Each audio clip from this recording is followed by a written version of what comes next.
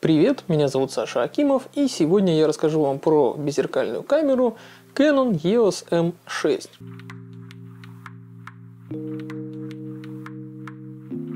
Давно уже вам обещаю обзор на эту камеру, и сегодня наконец созрел. Если следите за моим каналом, то знаете, что я ее в прошлом году купил, даже несмотря на то, что вот-вот уже да, должна была EOS M серия быть окончательно прикрыта, потому что там как раз собирались э, выпустить Э, на новом RF байонете кропнутые беззеркалки. Ну, в общем, я ее купил по большому счету вынужденно. Да, пришлось таким образом э, небольшой такой дауншифтинг устроить, скажем так, даунгрейд, точнее, э, дауншифтинг неправильное слово. Я купил ее на замену более крутой, более навороченной камере, там, у которой есть 4К, слежение по глазам, Dual Pixel более современный. Это была Canon EOS 90D, на него обзор, если что, на канале тоже уже есть. Ну, я его как раз обозрел перед продажей. А, вынужден был его продать, потому что мне срочно потребовались бабки, и частично мне хватало денег купить вот эту вот копеечную камеру, которая более-менее отвечала каким-то моим нуждам, потому что ну, у меня довольно большое количество разной оптики было на EF и на EFS, и она через переходник прекрасно работать может на М6. Так что, в общем, взял ее, потому что это было просто удобно и недорого. И да, у EOS M6, который, в общем-то, камерой особо старой и не назовешь, он 2017 года, поэтому он у меня и не в рубрике Bad Old Camera, потому что, в принципе, по характеристикам так номинально он более-менее ну, актуален. Можно сейчас его взять и больших каких-то проблем не испытывать с, с тем, чтобы ну, что-то снимать. Единственное, что да, я взял его на замену более мощной камере для видео, и здесь никакого 4К и в помине нет. Э, у EOS M6 только Full HD, и оно довольно-таки мыльненькое, со слабеньким битрейтом. Ну, в общем, помните, как вы все ругали мое мыльное видео, говорили, что ты там рассуждаешь про качество картинки там каких-нибудь камер, а сам снимаешь э, себя вот э, таким хреновым качеством. Но это была вынужденная мера, ничего я поделать с этим не мог, к сожалению, финансово я не мог себе позволить что-то более мощное или навороченное или современное взять. Это, конечно, была для меня очень компромиссная камера, но я не хочу сказать, что я прям пока я использовал, ну, просто как-то слишком уж сильно страдал. Нет, э, я, в принципе, могу снимать на все что угодно, больших проблем при этом не испытываю. Ну, я знаю, как слабые стороны как бы нивелировать немножко у разной техники, как какие-то сильные стороны усилить, скажем так. Ну, в общем, все это решается более-менее скиллом, каким-то подходом. В принципе, э, от нее каких-то там сверхзадач, опять же, не требовалось. Для записи говорящей головы достаточно ее. Я не знаю, зачем там а, какая-то невероятная резкость или четкость, как бы, когда я просто базарю, глядя в объектив. Но прежде чем мы примемся все-таки уже, да, там какие-то технические особенности обсуждать, или там, а, как она устроена, и разглядывать фотографии, о ее каких-то фотовозможностях поговорим более подробно. Сначала давайте все-таки я расскажу о том, как вот эта серия камер EOS M существовала почти что 10 лет. Она в общем-то, молодая и быстро померевшая. Началась история EFM байонета с выхода в 2012 году самой первой камеры EOS M. Вместе с ней одновременно появились сразу же и два первых объектива. Это были 18-55 мм f3.5 и f5.6 и прекрасный, абсолютно замечательный блинчик 22 мм f2. На него у меня есть обзор также на канале. Мне этот объектив очень нравился. Я его использовал с большим удовольствием. Вот здесь вот смотрите. И также у меня еще есть сравнение 22 f2 EFM вот этого блина и блинчика с EFS байонета 24 мм f2.8. У них, в принципе, фокусные, и их задачи, их как бы, положение в системе очень сходны. У одного там э, эквивалент 35 мм, у другого примерно там 38 мм, ну, ближе к 40. В общем, Объективы оба классные. И 2012 год, это, наверное, такой э, выход э, первой, первой беззеркалки у них, э, такой полноценный, нормальный. Это скорее запрыгивание уже было такое в последний вагон, потому что Canon, как всегда, очень долго тянет кота за яйца, не торопится как-то считывать тренды, потому что к тому моменту уже с 2008 года существовали беззеркальные камеры у системы микро 4 третьих. Это Olympus и Panasonic. Они уже выпускали большое количество разных моделей, компактных и, в общем-то, замечательных. Но с э, все-таки более мелкой матрицей, и у которой вот той старой матрицы 12 мегапиксельной было много претензий. Как раз в 2012 они обновились до 16 мегапиксельной, и там стало все гораздо лучше. В это время уже ворвались на рыночек и Sony, и Samsung, и были довольно серьезными там игроками. У них в APC-сегменте в беззеркальном там просто было все очень неплохо. Опять же, достаточно широкий модельный ряд. Ну и Fujifilm также в 2012 году выпустила первую свою на X-Mount байонете камеру X Pro 1, на которую у меня на канале будет обзор. Я уже на нее поснимал. Обзор будет, обещаю, но не в ближайшие там пару секунд, но скоро появится, в общем. Крупные игроки на рынке фототехники, они начали понимать, что пора потихонечку переходить на беззеркалки, потому что технологии уже позволяют сделать их крутыми и уже не такими ну, как бы компромиссными, не такими смешными по сравнению с зеркалками, как это было в нулевые. У Никона было, правда, тогда странное решение. Они сделали э, не очень-то удачную серию, вот эту Nikon 1 с дюймовыми матрицами, и даже Pentax и тот умудрился сделать аж две беззеркальные э, системы. Одну прям систему-систему на отдельном новом байонете э, Pentax Q. Ну там прям просто чисто по приколу камеры классные. Ими удобно пользоваться. Они замечательные, у них матрицы были совершенно малюсенькие. У меня есть на э, Pentax Q10 обзор. Там матрица 1 на 2,3. То есть это ну как в обычном каком-то самом примитивном смартфоне размер матрицы. Потом они сделали на 1 на 1.7, но блин, честно, качество там было не запредельное далеко, то есть, ну, типа, совершенно не конкурентное, даже по сравнению с дюймами. У Pentax также была довольно интересная, не то чтобы очень удобная в использовании, но реально интересная по дизайну камера Pentax K01. Вот здесь у меня, кстати, где-то она в бакешечке присутствует, на полочке стоит. Она довольно неплохая, ну, по цвету, по качеству картинки, матрица там очень хорошая, соневская, удачная, опять же, на 16 мегапикселов. Ну, очень дурацко сделанная, очень ненадежная. Вот, вот этот экземпляр, который у меня тут книжки подпирает, он э, у него у самой камеры помер затвор, Э, у объектива блинчика вот этого самого тонкого XS 40 миллиметров типа Limited. Самый тонкий блин на свете 40 миллиметровый и у него заклинила диафрагму. То есть это в принципе просто две такие мертвые вещи у меня тут лежат. В общем-то починить э, тушку можно затвор поменять можно там он, наверное в районе где-то 1015 будет стоить но нахрен надо пускай стоит э, пыль собирает и ничего страшного. А объектив вообще можно выкинуть. И как раз вот эти все камеры в 2012 году выходят вот с этой вот прекрасной, удачной 16-мегапиксельной матрицы. Это Sony Nex 6, на которой у меня есть на канале обзор. Она прям супер классно снимает, к ней вообще по качеству картинки вопросов нет, кроме там автоматики и баланса белого. В остальном там просто конфетка, супер гибкая картинка. Даже сейчас ты можешь ее снимать, она вполне себе современно э, может все делать. Также и Pentax K01 с такой же матрицей и при этом с хорошим цветом от Pentax. И, в общем-то, с этой же матрицей, скорее всего, 16 мегапиксельной, но с X-Trans э, расположением да, фильтров э, цветных на матрице, а не байеровским, выходит еще X Pro 1, у которой тоже все хорошо.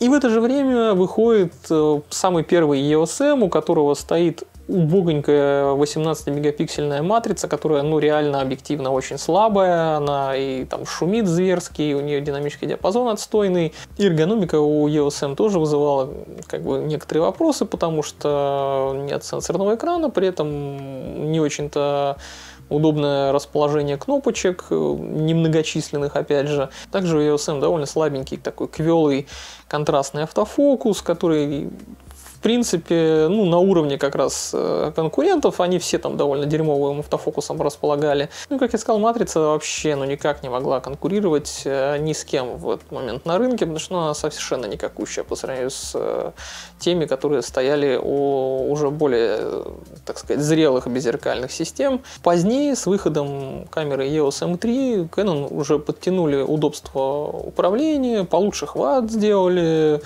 но все еще камера была не то чтобы очень какой-то там уж мощная, не то чтобы у нее там какие-то выдающиеся характеристики были. Ну, то есть, опять же, она звезд неба не хватало, но уже она была как минимум поудобнее. Ну, было заметно на фоне, в принципе, других камер, которые выходят от других производителей, что Canon, ну, инженеры Canon, они вообще не понимают, зачем им эта система, что с ней делать. Они ее выпустили так, как бы чисто по наитию, и постепенно они все-таки учились на своих ошибках, как-то отслеживали, что там не так, и постепенно, потихонечку исправляли вот эти недоработки, но делали это очень тонко. Canon, в общем-то, славится тем, что он не любит э, какие-то невероятные мощные апгрейды делать чего-либо. Они покупают люди, и ладно, мы будем одну и ту же там говноматрицу какую-нибудь сувать годами. В общем, они постепенно все-таки стали делать камеры мощнее, круче и лучше, но не так, чтобы вот не дать э, пользователю чего-то такого прям ультимативно хорошего. Canon любит таким образом уравновешивать, то есть не дать тебе в очередной камере в линейке чего-то прям уж запредельно крутого, она просто чуть получше, чем предыдущая. Ну, как вот с айфонами. Он, следующий iPhone, он чуть получше, чем предыдущий. Ну, никакой там революции не происходит. Хочешь, апгрейдишься, не хочешь, не апгрейдишься. Можешь, в принципе, годами снимать на какой-нибудь старый Canon. У меня он первый пятак есть, который, в общем-то, устаревшее говно, но снимает и ладно. Но, опять же, новую камеру на фоне остального рынка они все же не хотели делать слишком уж посредственной, поэтому чуть-чуть старались. И вот наконец-таки они родили хоть что-то отдельное. В 2016 году осенью появился Canon EOS M5. И камера по характеристикам, по начинке своей, в общем-то, была, по сути, идентична чуть ранее в этом же году выходившей Canon EOS 80D. Там такая же матрица, такой же процессор, то есть, ну, все абсолютно одинаковое, только это без зеркалка, из нее вытащили бесполезную пентапризму, вытащили зеркальный механизм, и у камеры прекрасный Dual Pixel автофокус, который следит за лицами людей в реальном времени, все с этим прекрасно. Органы управления расположены более-менее уже прям качественно, хорошо, так что более-менее все крутилочки под рукой, их довольно много, тебе камерой прям удобно пользоваться. Экран здесь уже сенсорный, и опять же сенсорное управление у Canon очень хорошее, оно меня очень радует во многих камерах у них. Но почему-то, опять же, инженеры решили, что классным решением я не знаю, кто там, или дизайнеры, кто придумывал да, концепцию этой камеры, что классным решением будет сделать так, чтобы экранчик э, от камеры откидывался вниз. Не в сторону, не полностью поворотный был, а вот мог откинуться вниз. Нет, блядь, это хуевое решение, когда у тебя экранчик опускается вниз, это значит, что если ты поставил камеру на штатив, то у тебя экран будет перекрытый. Как бы смысла в этом вообще абсолютно никакого нет, только если ты с рук будешь селфи херачить постоянно. Но я не знаю, что за дебил купит такую камеру для селфи. И вот в начале 2017 года появился собственно, фотоаппарат, герой наш сегодняшний, Canon EOS M6. Это, по сути своей, тот же самый EOS M5, но слегка облегченный, у него как бы так сверху э, опасной бритвой как будто бы срезали электронный видоискатель, ну и так чуть-чуть кнопки там подвинули, а так, в общем-то, абсолютно одинаковые камеры, с той лишь разницей, что здесь по-нормальному сделали экранчик. Хоть как-то по-нормальному сделали, он, опять же, не полностью поворотный, но он теперь откидывается не вниз по-дебильному, а откидывается вверх, что, в общем-то, хотя бы терпимо. Если ты какой-нибудь микрофон-пушку не ставишь на камеру, когда снимаешь, то, в общем, нормально. Ты можешь сам себя видеть, когда записываешь э, вот такое вот э, видео, как я сейчас, например. Короче, покатит. Ну и матрица осталась такая же на 24 мегапикселя. Она, конечно, не какая-то запредельно крутая. Ее нельзя сравнивать с какими-то, опять же, актуальными камерами на 24 мегапикселя, там Sony, э, Fuji и так далее. Нет, она, конечно, слабее, чем они. Но для моих нужд, для каких-то несложных задач, в общем-то, ее хватало и так за глаза. Были еще три ответвления от основной EFM линейки, совсем мелкие камеры EOS M10, но они были в стиле как раз самого первого EOS M, малюсенькие, с небольшим количеством органов управления, но не совсем уж урезанные. И уж совсем мелкие были еще там M100, M200, ну то есть совсем крохотуличные, у которых уже даже башмака там нет, ну, в общем, совсем урезанные, совсем крошечные. В общем-то, для кого-то это, наверное, даже удобно, если ты снимаешь какой-нибудь такой стрит без участия там вспышки какой-то, и тебе надо, чтобы камера была максимально крохотная и незаметная, хотя, с другой стороны, там особо уж маленьких объективов, кроме 22 мм f2, наверное, нету. Но мне совсем мелкие камеры показались ну, не очень удобными по управлению, поэтому я как-то их сразу... Э, я подумал про них, я их просто в руках повертел, прежде чем да, покупать EOS M6. Нет, они мне не понравились, просто ну, слишком много отдано на сенсорное управление. Оно, конечно, удобное, но постоянно все сенсорным экраном возиться постоянно с ним, ну, не очень клево, короче. Кому-то это удобно, мне не очень. По мне так все-таки по габаритам э, и по как бы, наличию органов управления оптимально. Это вот как раз EOS M6, такая вот золотая середина. Она не очень сильно урезана, все на своих местах, и, в общем, ей удобно пользоваться. Ну, и еще была очень грамотно сделанная камера в этой линейке. Это грамотно сделанная с точки зрения продаж, я имею в виду, конечно же. Это EOS M50. Она была таким упрощенным, удешевленным вариантом. Там реально урезали, удешевили что-то там по мелочам. Не так, что вот прям совсем ее сделали кастрированные, ну, по сравнению с M5, M6 она, в общем-то, реально по начинке примерно как они, близка к ним, но она по качеству исполнения и по возможностям, ну, немножечко такая, чуть-чуть прям похуже. По качеству исполнения, конечно, сильно хуже, потому что, ну, там совсем уж плохой Э, пластик используется, причем тонкий очень. Ну, буквально я ее в руках пару раз держал, когда, да, э, чтобы посмотреть, что она из себя вообще представляет. Ты нажимаешь на кнопки у нее какие-нибудь на задней панели, и у тебя пластик, прям ты видишь, как у тебя э, корпус у камеры продавливается большим пальцем. Это еще и хрустит при этом. Это просто чудовищно и уму непостижимо. Ну, в 2018 году Canon в муках наконец-то родили полнокадровую новую беззеркальную систему, выпустили самую первую камеру Canon EOS R.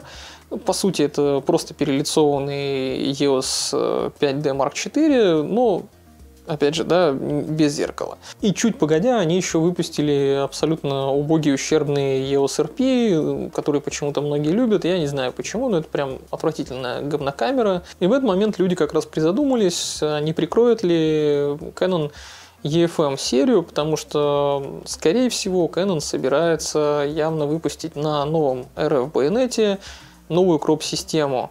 Ну, в общем, правильно предсказывали, так оно и оказалось, но про это мы чуть позже поговорим, а сейчас вернемся все-таки к EOS M6 и давайте я детально расскажу про то, как он устроен, где у него какие кнопочки, крутилочки, вертелочки и, в общем, как им пользоваться.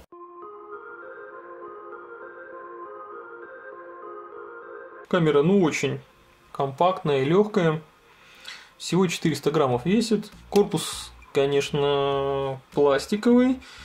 Ну или как сейчас принято говорить, он сделан из поликарбоната высших сортов, так сказать. Ну, конечно же, внутри каркас из металла, это понятно.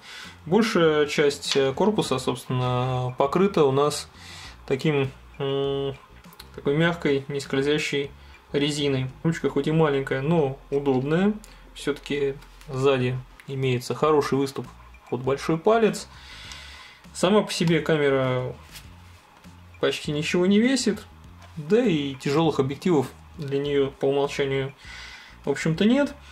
Э, я вот тем более юзаю ее в основном с блинчиком 22 мм, абсолютно шикарное стекло, эквивалентное 35 мм, э, если бы это был полный кадр. Сверху есть встроенная вспышка, сбоку рычажок, который ее активирует. Простенький такой рычажок, абсолютно механический, вспышка отгибается. Она, в общем-то, маленькая, слабенькая, ничем не примечательная, но вроде сделано тоже неплохо. Дальше идет полноценный горячий башмак. В него помимо вспышек можно подключить также еще микрофоны различные и также подключить электронный видоискатель опциональный. Вот здесь вот э, ряд контактов там в глубине можно увидеть, не знаю, насколько это заметно. Там правее, слегка утопленная в корпус, находится колесико выбора режимов. Открою корпуса два колесика, одно под другим. Сверху находится экспо-коррекция. Тут плюс-минус 3. Значит, э, и снизу есть программируемое еще колесико. Я на него повесил ISO. Так, мне потому что удобнее и быстрее переключать. Хотя ISO можно и тут переключить, и на экране сенсорном. Ну ладно. Но на самом краю находится режим включения. Место, кстати, удобное. То есть ты вот э, идешь, нажимаешь включение, выключение большим пальцем в этом месте. В принципе, отлично. Но можно случайно сбить настройку нижнего колесика. А, ну потому что прям вот прилегает к этому рычажку. Такая же вот э, беда была, например, у древних Олимпусов. Они там рычажок рядом с колесиком ставили, можно случайно было сбить. Ну, я уж привык, я не сбиваю, но по первости можно накосячить. В переднем углу здесь находится еще также программируемая функциональная кнопка. Я туда ничего назначать не стал. Ну, как бы тут и так кнопок хватает. Кнопка спуска слегка жестковато ощущается, но при этом у нее такое уверенное нормальное нажатие. К ней быстро привыкаешь. Вокруг нее еще одно колесико для изменения параметров. Все колесики, кстати говоря, которые я тут описывал, максимально шершавые, то есть они вообще не скользят, сделаны из металла и имеют приятные, очень такие ощутимые, тактильно щелчки. Сзади, кстати, еще одно колесико есть для изменения параметров съемки. Оно тоже пощелкивает, но оно, конечно, уже не металлическое, скорее всего, а пластиковое. Хотя бог его знает, тут я особо не проверял. А, ну, я его редко, на самом деле, использую. То есть, получается, смотрите, на корпусе тут аж 5 колесиков. Раз, два, три, четыре, 5. Почему-то многие другие производители на маленьких корпусах э, стесняются сделать побольше органов управления. Здесь вот они прямо в изобилии, хотя корпус действительно очень мал. Вокруг заднего колеса на випаде у нас есть э, еще 4 кнопки. Это меню, просмотр, видео и инфо. У самого навипада центральная кнопка это ОК и вызов быстрого меню. Традиционная, в общем-то, такая настройка для Canon. И по четырем его сторонам еще есть несколько функций. Это настройки вспышки, ISO, режим фокуса и удаления. Экран тут на 3 дюйма, на миллион точек, яркий, удобный, не слепнущий на солнце и не перевирающий цвета. То есть он прям хорошо, прекрасно настроен. Экранчик, конечно же, сенсорный, можно точку фокусировки гонять как угодно, можно клик-меню вызвать, все что угодно настроить, можно нажать на ISO, поменять его пальчиками, как тебе заблагорассудится. Можно все что угодно, короче, сделать через сенсорный экран, можно и в меню залезть, и в нем полазить, и поменять какие-то настройки. В любой ситуации у тебя есть много способов для управления камерой. Ты можешь э, ну, напрямую кнопками менять, колесиками, если у тебя там да, какой-то функционал на них назначен. Можно кнопочками переключаться через быстрое меню, вызвав его вот здесь на кнопке ОК. Или же просто тыкать по экрану. Вот это настоящий кайф, когда ты можешь даже не одним способом множество разных вещей поменять в настройках. Экранчик немного откидывается вниз, градусов, ну сколько тут, на 45, наверное, и сильно, аж на 180 градусов, он откидывается вверх. В предыдущей модели, которая EOS M5, он откидывался вниз, что делало вообще абсолютно невозможным съемку себя со штатива, ну, то есть, если ты видео пишешь, например, как ты будешь видео писать и себя визировать по этому экранчику, Понятно, что удаленные здесь способы есть, можно через приложение смотреть, но тут же такое откидывание вверх, э, конечно, тоже мешает визированию, если ты себя снимаешь, допустим, с микрофоном пушкой, который устанавливается в горячий башмак. Ну, тут можно, опять же, клетку какую-нибудь повесить, чтобы у тебя где-нибудь сбоку он там крепился. Я все-таки камеру юзаю, когда пишу говорящую голову с радиомикрофоном рода Wireless Go, и мне, в общем-то, такое положение поворота экрана не мешает, то есть мне вполне нормально. Ну и раз уж мы тут заговорили про микрофоны, да, слева тут под заглушкой есть разъем 3,5 джек под нормальный микрофон, под наушники разъема, к сожалению, нет, но мне он особо тоже не нужен как одиночному э, персонажу, кто сам себя пишет. Тут рядышком еще также э, микро USB стандарта 2.0, скидываются фото и видео вполне комфортно, но зарядки от USB при этом нет. То есть, хотя у более старых дюймовок, например, там какой-нибудь э, G5X можно было заряжать от Powerbank через абсолютно такой же разъем. Не знаю, почему здесь такого функционала камера лишена. Справа находится кнопка для беспроводного соединения, включения. Тут NFC есть, Wi-Fi, вот эти все интерфейсы беспроводные присутствуют. Под заглушкой резины тут находится микро HDMI и разъемчик для тросика для удаленного управления опять же. Слот для SD-карты совмещен с батарейным отсеком, к сожалению. Отсек, кстати говоря, не откроется, если у тебя здесь установлена площадка штатива. Да, в общем, в камере, как видите, сквозит такой, везде такое понижение статуса до любительского. Есть немало урезаний и упрощений, но она при этом отлично собрана, ею удобно, приятно пользоваться. По сути, это тот же EOS M5, которому убрали видоискатель и изменили способ поворота экрана, по большому счету. Но по функционалу электронной начинки ну, такая же абсолютно камера, как э, EOS 80D, например. Правда, под байонет EOS M мало родной оптики, но можно через переходник вообще любую оптику от EF, EFS применять. Я вот, э, например, использую вот такой вот переходничок от того же Viltrex так вот ставишь. И э, он ничем вообще не отличается от родного, который стоит в два раза дороже. То есть кэноновский абсолютно такой же, но стоит тупо в два раза дороже. Так что применяется он нормально. С легкими стеклами, к примеру, можно, ну, вот такой вот, допустим, ты полтинник берешь, э, доисторический, там, с 92 -го года, нацепляешь, он у тебя прекрасно работает, весь функционал присутствует, следящий фокус нормальный, все хорошо.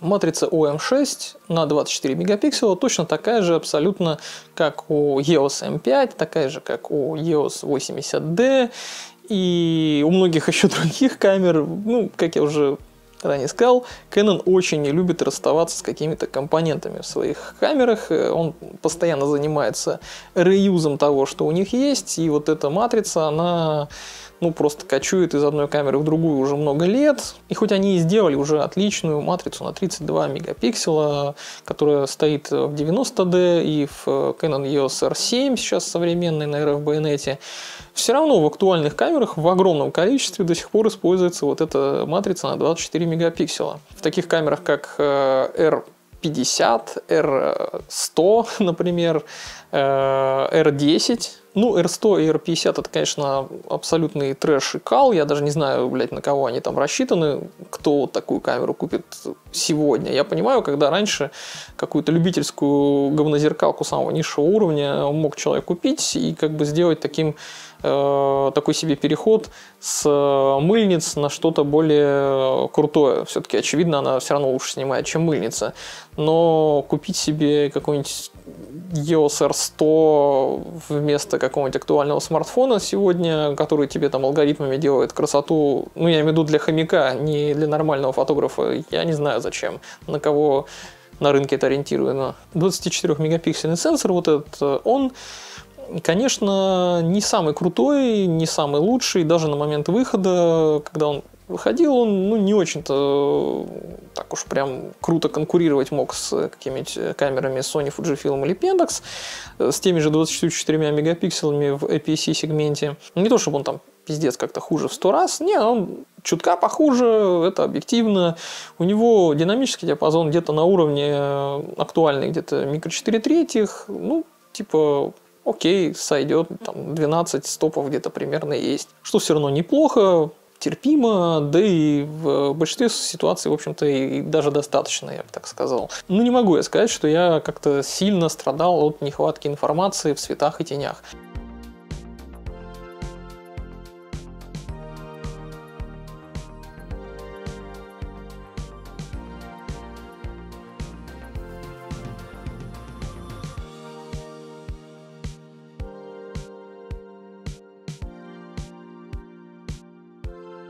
Canon продолжают гнуть свою линию и ставят перед матрицами сглаживающий фильтр, как в стародавние времена, как они в нулевые начали, так и ставят.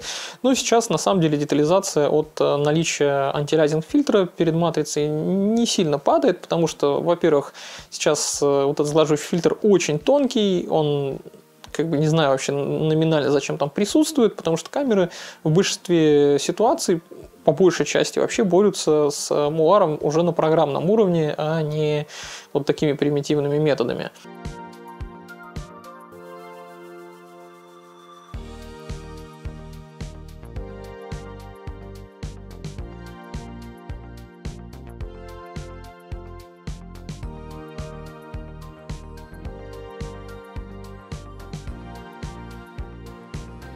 Ну, конечно, если взять камеру с таким же количеством а, мегапикселов от какой-нибудь Sony, там, Фуджика или Pentax и сравнить их вот лоб в лоб, да, снять э, с одинаковыми всеми настройками, посмотреть. Ну, там еще зависит будет от оптики, конечно, используем. Ну, там самый топовый объектив на э, обе камеры поставим, допустим. Можно даже один и тот же через переходник поставить, чтобы уж совсем, да, разночтений не было. И вы увидите, да, что, конечно же, у конкурентов будет резкость выше, чем у Canon. Ну, не прям там прям многократно, да, она будет чуть-чуть получше э, иметь резкость. Но зато я действительно буквально ни разу не ловил ни в какой ситуации муар, хотя камерой я довольно активно пользовался. Ну, может быть, где-то там супер какой-то малозаметный вдалеке муарчик э, был словлен, но я лично вот прям картинку, если там по пиксельно не разглядывать, нигде муара такого бросающегося в глаза не видел.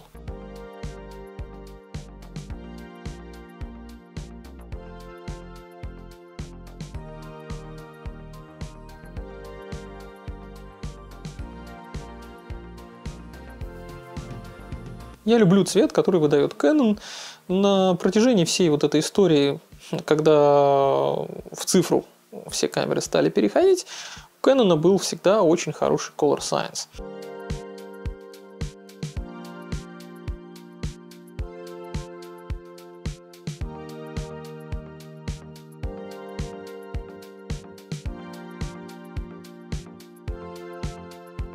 Цвет, конечно, у них э, эволюционирует, как-то развивается, он там отличается от камеры к камере, от серии к серии, э, но в любом случае во все времена он всегда достаточно хороший, потому что возьми, например, какой-нибудь 20-летний или почти 20-летний первый пятак, опять же, возьми какой-нибудь 10D древний на 6 мегапикселов, и у них классный цвет. Возьми какой-нибудь 1D с EPS э, H матрицами с круг-фактором 1.3. Там тоже замечательный, достаточно приятный цвет. Я даже подумаю сделать пару каких-нибудь отдельных роликов еще про сравнение цвета с Кэнонов разных лет, с разных серий. Ну, потому что это довольно интересно посмотреть, как он немножко отличается. Баланс белого, работа с разными цветами, у кого в какую тональность, где уход происходит. В общем, там автоматический баланс белого у всех всегда классно отрабатывает. Ну, у них почти не бывает каких-то серьезных там промоков по балансу белого. Да, иногда картинку делают э, старые, особенно Canon, чуть теплее, но в целом, вот, да, так усредненно приятная картинка получается, потому что, ну, нет сильно кричащих каких-то тонов. Э, Все так выглядит просто очень аккуратненько. Это, конечно, не значит, что у Canon EOS M6, про который мы сегодня разговариваем, какие-то супер натуралистичные или реальные цвета. Далеко это не так.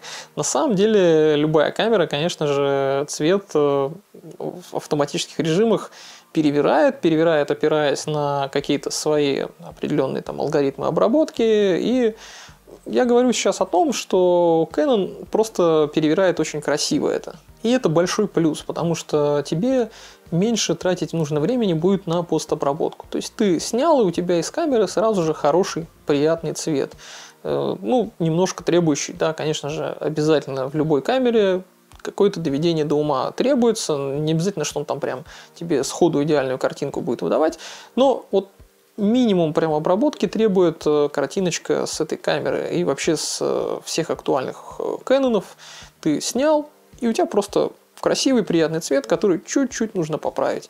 Потому что автоматический баланс белого, он практически не косячит, никуда-то там не уводит. Допустим, у тебя снимаешь ты в пасмурную погоду. У некоторых камер бывает такое, что в пасмурную погоду снимаешь, и их слишком сильно уводит куда-то в холод. Здесь такого нет. Также, например, у многих э, камер такие предустановки, что, например, да, чтобы слишком теплая картинка не делалась, ты вот в предзакатное время снимаешь, тебе хочется сохранить э, теплые оттенки. И у многих есть такая подстройка сохранять э, теплые тона. У Canon просто по умолчанию нормально, они бережно сохранены и так.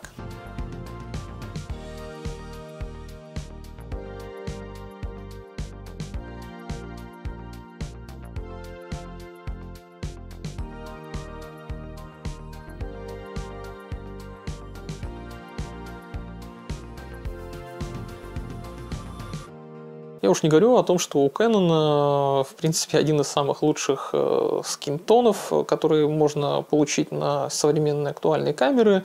С ним, наверное, может посоперничать только какие-нибудь старые лейки, типа лейка X2 или какие-нибудь э, с CCD матрицами кодека, ну или какие-нибудь Hasselblad, у которых тоже хороший color science. Вот по цветам кожи Canon тоже очень хорош, опять же, прям сразу из камеры. Иногда, конечно, бывают косяки, но не бывает такого, чтобы у тебя получились стрёмные красные рожи, как это делает какой-нибудь Fujifilm, или наоборот слишком какие-то желтые, как это делает иногда Sony современная.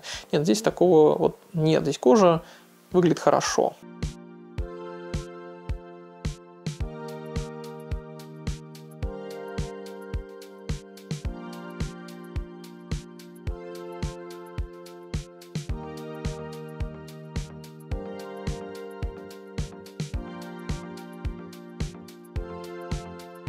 Короче говоря, снимать портреты довольно приятно на эту камеру, потому что ну, тебе не придется на постобработке, опять же, да, корпеть над скинтоном, какие-то там э, изгаления делать, э, ползунки дергать лишний раз куда-то там.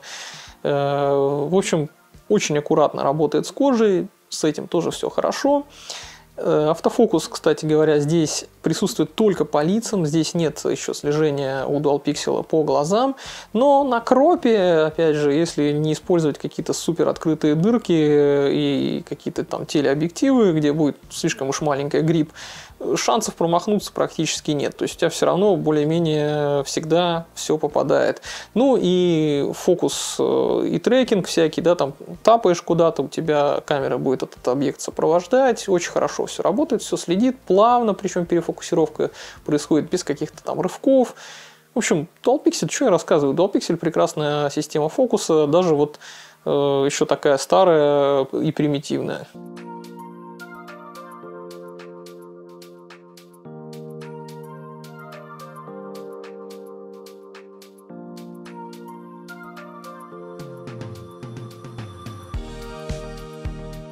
Отличный автофокус, опять же, способствует тому, чтобы снимать стрит, потому что, ну, во-первых, М6 сам по себе довольно маленький, особенно если его использовать, вот как я юзал за 22 мм f2 блином, то есть очень получается компактненькая э, такая комбинация. Объектив чуть-чуть жужжит, когда фокусируется, ну, едва слышно. И грустно, конечно, что у камеры нет электронного затвора, Здесь только механический затвор, но шлепает он, опять же, не очень громко. Короче говоря, для стрита она вполне себе подходит.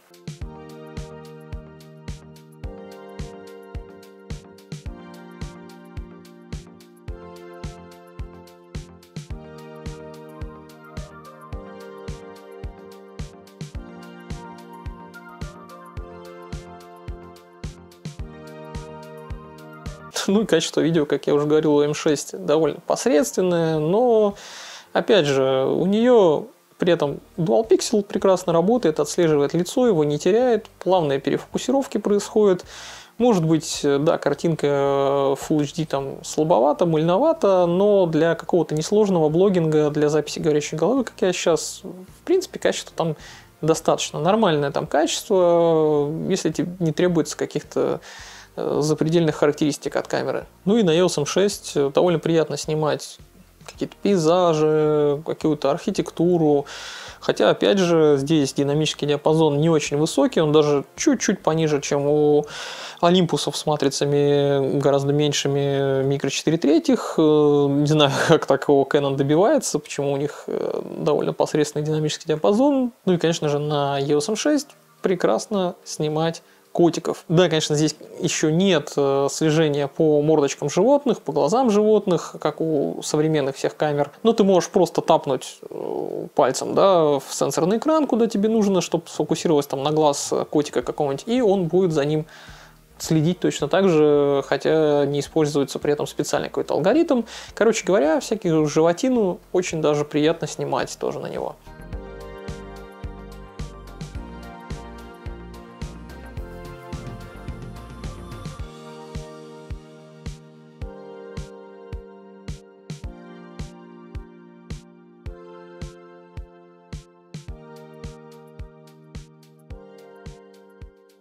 И эту камеру можно до сих пор прекрасно использовать без э, каких-то серьезных затруднений. Она, конечно, уже ну, ощутимо устарела. По сравнению с современными камерами, да, она, конечно, уже так не кажется как такой уж выдающейся вещью. Но она вполне себе терпима, и я ну, не претерпевал каких-то серьезных мук, э, не страдал, не, не мучился, пока я ею пользовался. Она вполне себе нормальная. После М6 на байонете EFM еще были выпущены несколько камер. Это М200 с примерно такой же начинкой, но просто в более компактном корпусе. Еще выходил супер успешный с точки зрения продаж, конечно, EOS M50, но он какой-то совсем уж любительский, слишком упрощенный. И лебединой песней вот у этой всей системы стала камера EOS M6 Mark II. Там стояла такая же матрица и такой же процессор, как у Canon EOS 90D, то есть 32 э, мегапикселя, Dual Pixel второго поколения, со слежением по глазам, 4К со всего поля кадра, без кропа какого-либо. Э, в общем, крутая, классная навороченная камера в маленьком корпусе, у которой ну, просто впихнули э, зверскую мощь. И я еще в ролике про EOS RP говорил, что лучше взять M6 Mark II, потому что он реально круче, чем RP, намного круче. У него, несмотря на то, что это кропнутая камера, лучше динамический диапазон, выше разрешение, э, лучше вообще все характеристики, у него следящий Dual Pixel автофокус в 4К, то есть, ну, типа, чуть еще-то надо вот прям вот супер крутая камера, и стоит она, ну, или столько же, или даже дешевле, чем э, EOS RP сейчас, э, если мы посмотрим новые камеры. Ну, на БУ, я не знаю, на рынке не следил. У крупной серии на EFM байонете от Canon почему-то был один только существенный недостаток.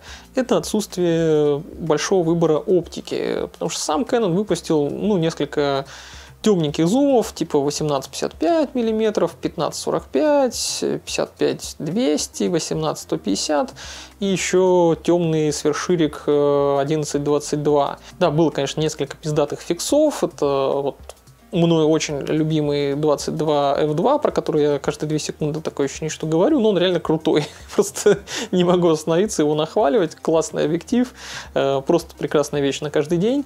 Также у них был портретник 32 мм f1.4 с приятной бакешечкой. Тем более, что скорее близок по эквиваленту фокусного расстояния к полтосу, а не к классическому какому-то портретному фокусному расстоянию.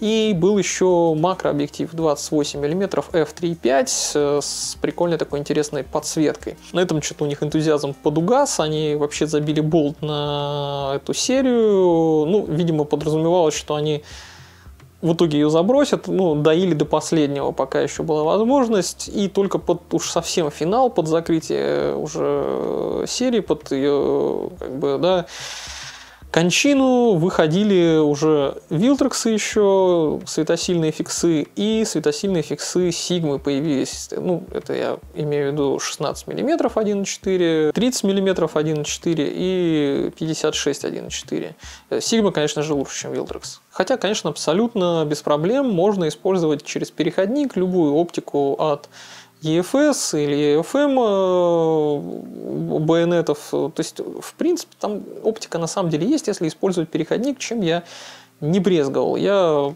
большое количество разных объективов перепробовал на нем, все прекрасно работает. Не знаю, у Canon с переходником даже с неродным каким-нибудь Вилтрекса, как я юзал, вообще проблем ноль. Ну и вот э, к 2022 году нам э, с выходом уже на новом RF байонете новых крупнутых камер R10 и R7 становится понятно, что все, больше новых камер на EFM байонете выпущено не будет, так же как, в принципе, новых зеркальных камер э, на EFS байонете выпущено больше не будет.